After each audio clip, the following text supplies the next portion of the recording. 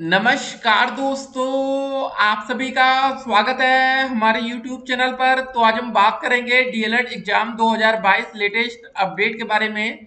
तो आज हमारी तारीख हो चुकी है 9 सितंबर 2022 की बड़ी अपडेट में।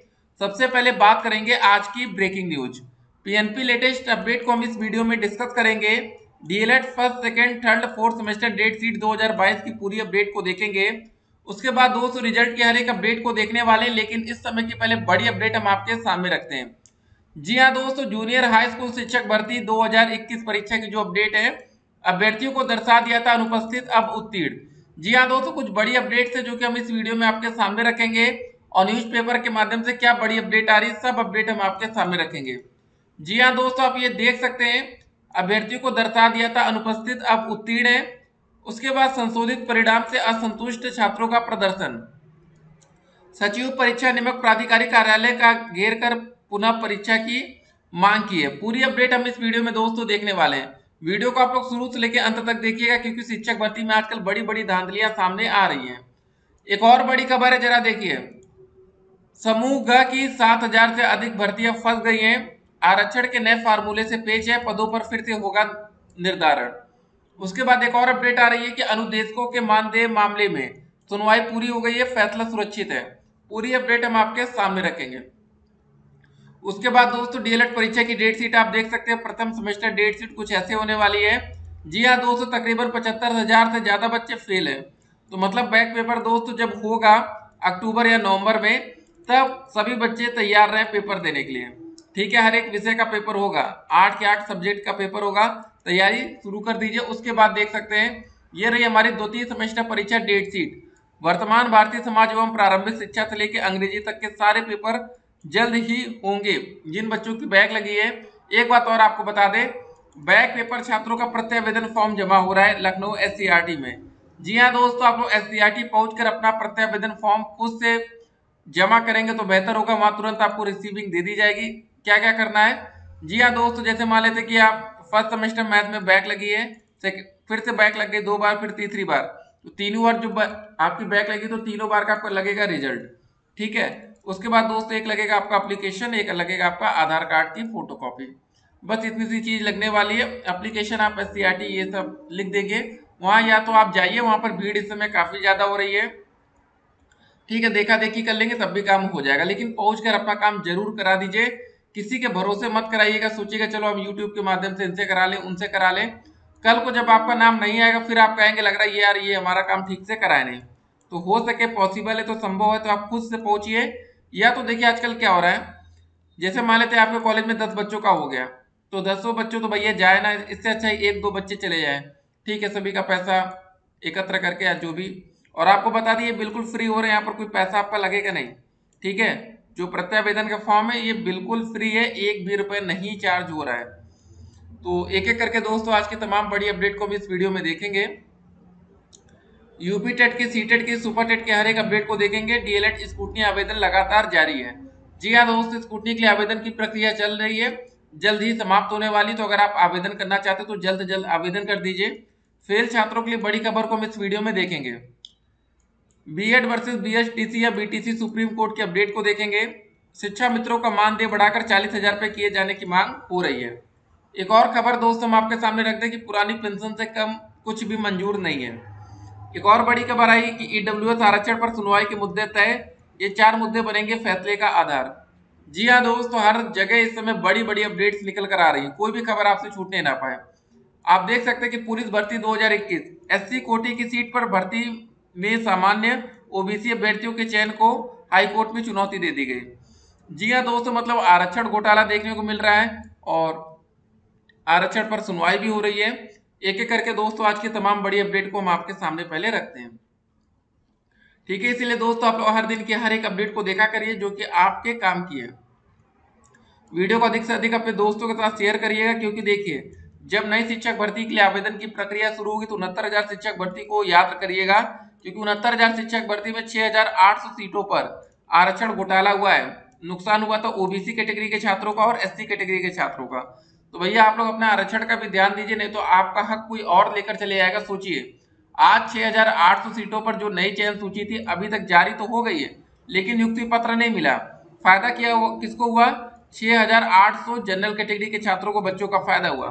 ओबीसी और एससी कैटेगरी के छात्रों के जो बच्चे थे, उनका नुकसान होकर जनरल कैटेगरी के छात्रों का फ़ायदा कराया किसने? सरकार ने। अब इस अपडेट को जरा देखिए। अशासकीय सहायता प्राप्त एडेड जूनियर हाई स्कूल शिक्षक भर्ती परीक्षा 2021 के संशोधित परिणाम में। इसमें हुई, ठीक है अधेर गर्दी को बेपर्दा कर दिया गया है। तो ये सब दोस्तों बातें, एक बात आपको बता दें। इस वैकेंसी में टोटल 1504 पद सहायक अध्यापक के हैं 390 पद है प्रधानाध्यापक के। ठीक है, गड़बड़ घोटाला की बात है, जरा इस अपडेट को भी देखते हैं। जूनियर हाई स्कूल में शिक्षक भर्ती का संशोधित परिणाम जारी होने के बाद अभ्यर्थियों ने नंबर कम होने और फेल किए जाने पर आपत्ति जताई है। युवा मंच के नेतृत्व में बृहस्पतिवार को छात्रों ने सचिव परीक्षा नियमक प्राधिकारी कार्यालय का घेराव किया और पुनः परीक्षा कराने की मांग की। युवा मंच के अध्यक्ष अनिल सिंह ने कहा कि परीक्षा नियमक प्राधिकारी कार्यालय युवाओं के भविष्य के साथ खिलवाड़ कर रहा है। पूर्व में जो छात्र पास हुए थे, संशोधित परिणाम में उन्हें इनवैलिड सीरीज़ बताकर फेल कर दिया गया। इतना ही नहीं, कई ऐसे छात्र भी हैं जिनके नंबर कम हो गए।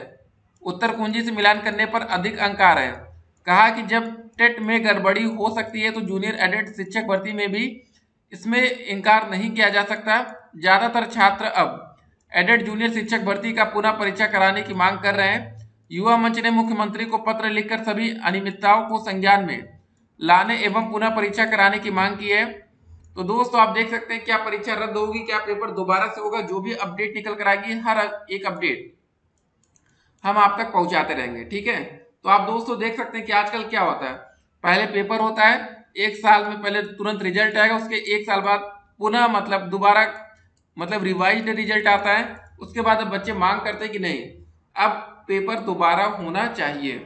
तो गाइस आप लोग भी नई शिक्षक भर्ती के इंतज़ार कर रहे हैं तो भैया जरा ध्यान रखिएगा। इस अपडेट को जरा देखिए। आरक्षण के नए फार्मूले से समूह ग की सात हज़ार से अधिक। पदों पर भर्तियाँ फंसी हुई हैं। उत्तर प्रदेश अधीनस्थ सेवा चयन आयोग। अब विभागों को बुलाकर आरक्षण की व्यवस्था के अनुसार पदों का निर्धारण कर रहा है, जिससे जल्द ही इनके लिए भर्ती का विज्ञापन निकालते हुए। आवेदन लिया जा सके। ठीक है? तो यहाँ पर आप दोस्तों देख सकते हैं, आरक्षण का मामला भी आ रहा है।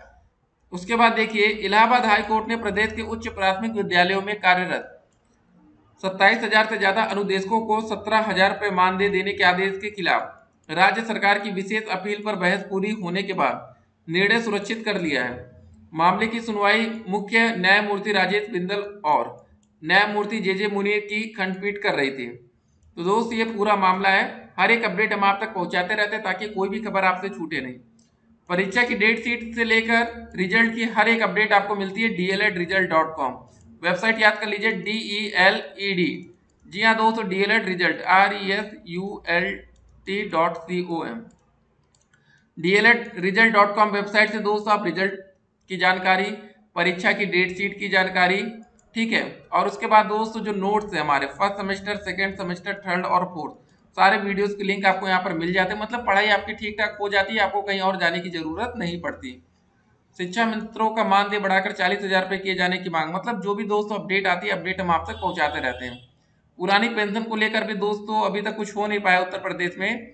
उत्तर प्रदेश माध्यमिक शिक्षक संघ ने बुधवार को पताहा स्थित संयुक्त शिक्षा निदेशक कार्यालय के समक्ष विभिन्न मांगों को लेकर प्रदर्शन किया।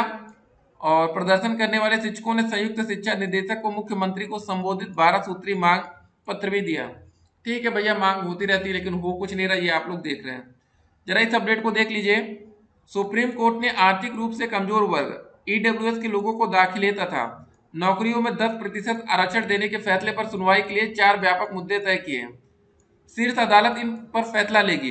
अदालत यह भी तय करेगी कि क्या संविधान एक सौ संशोधन अधिनियम के ज़रिए राज्यों को इस प्रकार के विशेष प्रावधान करने की मंजूरी देकर संविधान की मूल संरचना के सिद्धांत का उल्लंघन किया गया है अथवा नहीं? सुनवाई तेरह सितंबर से शुरू होगी। जी हाँ दोस्त एक बड़ी अपडेट यहाँ से भी निकल कर आएगी। जल्द ही अपडेट आएगी। हर एक अपडेट पर आप लोग की नज़र होनी चाहिए। इलाहाबाद हाई कोर्ट ने उत्तर प्रदेश पुलिस उप निरीक्षक सिपाही भर्ती 2021 में एससी कोटे की सीट पर सामान्य और ओबीसी अभ्यर्थियों के चयन के मामले में यूपी सरकार और पुलिस भर्ती बोर्ड से जवाब तलब किया है। कोर्ट ने मामले में यूपी सरकार और पुलिस भर्ती बोर्ड को छह सप्ताह में जवाब दाखिल करने को कहा है। पवन कुमार भारती तथा अन्य की ओर से दाखिल याचिका पर न्यायमूर्ति नीरज तिवारी की पीठ सुनवाई कर रही थी। तो दोस्तों, आप देख सकते हैं आरक्षण घोटाला जो सबसे खतरनाक घोटाला होता है। जी हाँ दोस्तों, जब बच्चे एडमिशन लेते हैं, तैयारी करते हैं तो आरक्षण के बेस पर एडमिशन होता है। उसके बाद जब आरक्षण नौकरी में देने की मांग आती है तो कुछ लोग कहते हैं, भैया, आरक्षण क्यों दिया जा रहा है? बराबर करो इक्वालिटी करो, ये सब बातें आती हैं। बाकी दोस्तों यूपी टेट सी टेट का जो पेपर है, वो हमारा नवंबर, दिसंबर महीने में ही होगा। ठीक है, आवेदन की प्रक्रिया दोस्तों, जल्द ही शुरू होगी। और आपको बता दें, इसी महीने, उम्मीद है कि ऑफिशियल नोटिफिकेशन जारी कर दिया जाएगा। ठीक है, बाकी जो हमारा डीएलएड का एग्ज़ाम डेट सीट है, जो कब तक पेपर हो सकता है?